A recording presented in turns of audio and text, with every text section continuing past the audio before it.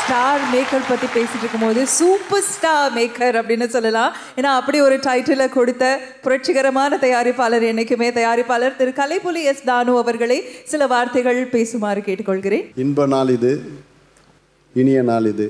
பஞ்சண்ணனிடம் கிட்டத்தட்ட முப்பது வருடங்களுக்கு மேலாக அவரோடு பழகியிருக்கிறேன். இயக்குனர் சுந்தரராஜன் என்னிடம் சொல்லி அண்ணன்கிட்ட ஒரு கதை இருக்குது எப்படியாவது வாங்கிடுங்கன்னாரு. சரி நான் போய் அண்ணனை போய் வீட்டில் போய் பார்த்து அவருக்கு அட்வான்ஸ் கொடுத்து அருமையான கதை. இன்றைக்கும் ரெண்டு நண்பர்களை பற்றிய கதை. ஒரு பாடலாசிரியன் ஒரு இசையமைப்பாளர். அருமையாக சொன்னார். அதில் இருக்கக்கூடிய காதல் துரோகம் நியாயம் மனு தர்மம் உள்ளடக்கிற ஒரு உயரிய படைப்பு. ஏனோ தெரியவில்லை அந்த படம் இன்னும் சரியாக முயற்சி இல்லாமல் இருக்குது.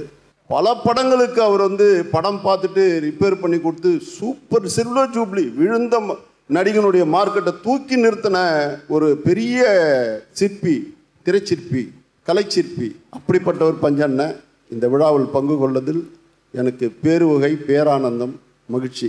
நன்றி வணக்கம். நன்றி நன்றி நன்றிங்க.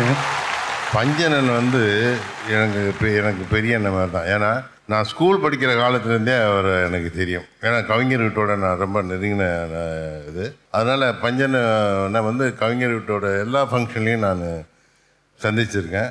என்னை அவர் ரொம்ப அவரோட ஒரு பையன் மாதிரி தான் என்னை ட்ரீட் பண்ணுவார். நான் முத முதல் டயட் பண்ணணும்னு சொல்லி கங்கையாமரன் வந்து முயற்சி எடுத்தபோது பன்னீர் புஷ்பன் கதையை வந்து பஞ்சன்ட்டு சொல்லலாமா அப்படின்னு சொல்லி கூப்பிட்டு போனார்.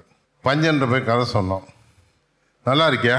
நீங்கள் பண்ணுங்கள் அப்படின்ட்டு அவர் தான் என்னை முத முதல்ல வந்து ரஞ்சித் ஹோட்டலில் ரூம் போட்டு டிஸ்கஷன் ரூம் பண்ணி போட்டு கொடுத்தவர் பஞ்சண்ணன் தான். அந்த டிஸ்கஷனுக்கு மணிரத்னம் சார் கிட்டி கிருஷ்ணமூர்த்தி எல்லாருமே வருவாங்க. இப்போ எல்லாரும் உட்காந்து டிஸ்கஸ் பண்ணுவோம். அது ஒரு ஃபார்ம் அந்த கதையை ஒரு ஃபார்ம் பண்ணிவிட்டு ஃபுல்லாக ரெடி ஆகிட்டு போய் மறுபடியும் பஞ்சனை பார்த்து கதை சொன்னோம். பட் என்னோட துரதிருஷ்டம் என்னென்னா அந்த நேரத்தில் கிராமத்தை தியானம் ஒரு படம் பண்ணார் பஞ்சனை. அந்த படம் அவருக்கு மிகப்பெரிய ஒரு ஃபினான்ஸ் ப்ராப்ளம் வந்துருச்சு தோல்வி அடைஞ்சு. அதனால் என்ன சொன்னால் இல்லை பாரதி நமக்கு இப்போ பண்ண முடியாத பொழுதுக்கு நீ நல்லா இருக்கு கதை நீ வேறு ஏதாவது ப்ரொடியூசர் பாருன்னாரு. அதுக்கப்புறம் தான் வேறு ப்ரொடியூசருக்கு போனோம். எதுக்கு சொல்ல அந்த மாதிரி என் மேல் எல்லாம் ரொம்ப அக்கறை உண்டவர் அவர். எனக்கு ரொம்ப ரொம்ப நெருக்கமானவர் ரொம்ப அன்பானவர். அவரோட விழா நான் கலந்துக்கிறது ரொம்ப சந்தோஷப்படுறேன் ரொம்ப மகிழ்ச்சி அடைவேன். பியாட்ஸ் பஞ்சண்ணன்ட்ட வந்து டைரெக்டாக கதை கேட்ட அனுபவம் உண்டு எனக்கு. நான் வந்து அப்போ மருது பாண்டின்னு ஒரு படம் எனக்கு பெரிய ஹிட்டு அப்போ வந்து சுப்பு வந்து சொன்னான்ட்ட என்ன பண்ணோம். அப்பா கூப்பிட்றாங்க எனக்கு பெரியவங்க உங்கள்கிட்ட நம்ம போய் எப்படி கதை கேட்குறது அப்படின்னா கேஆர் சார் வந்து வாயா வந்து கேளியா பெரிய ஆள்கிட்ட கதை கேட்குறது உனக்கு யோகம் தான் அப்படின்னாங்க. நான் போய் கேட்டேன் வடிவுகரிசி மேடம்லாம் இருந்தாங்க அப்போ. அந்த படத்தில் பண்ணாங்க. க ஃபுல் காமெடி ஸ்கிரிப்ட் எனக்கு சார் நான் வந்து எப்படி சார் காமெடி அப்படின்னா தம்பிக்கு எந்த ஊர்? அது இப்போ ரஜினி சார் வந்து அவ்வளோ தூரம் இதாக இருக்கும்போது அந்த படத்தையே வந்து அவர் சாரை வந்து ரஜினி சாரே வந்து காமெடியனா ஃபுல் காமெடியை வந்து பண்ணி காட்டினாங்க.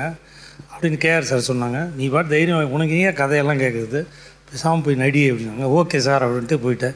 சார் படத்தில் நான் நடிச்சிருக்கேன் சார் மறந்துட்டாங்க. அது அது ஒரு அனுபவம் என்னென்னா சார் வந்து ரஜினி சாரை வச்சு முப்பது படம் பண்ணியிருக்காங்கன்னு நினைக்கிறேன். நான் ஷார்ட்டில் போய் நிற்பேன் தொட்டில் குழந்தை நானும் ரஞ்சிதாவும் நடித்தோம் அதில் வந்து நான் நிற்பேன் கேமரா முன்னாடி. ரெண்டு தடவை சொல்லிட்டு ரஜினி ரஜினி வா இப்படி வா லெஃப்ட்டு ஏய் ரா. ரஜினி நான் போய் கிட்ட போய் சார் என் பேர் ராம்கி சார் அப்படிம்பேன். அது சாரிப்பா நான் ரஜினியவே கேமரா முன்னாடி நிப்பாட்டி பார்த்துட்டு. சரி சார் நீங்கள் சொல்லுங்கள் சார் அது பெரிய வார்த்தை அப்படியே இருக்கட்டும் அப்படின்னு சொல்லி சொல்லுவேன். ஸோ இனியோ ஒரு பெரிய ஃபங்க்ஷனில் கலந்துக்கிட்டதுக்கு ரொம்ப சந்தோஷம். Watch it. Only on BS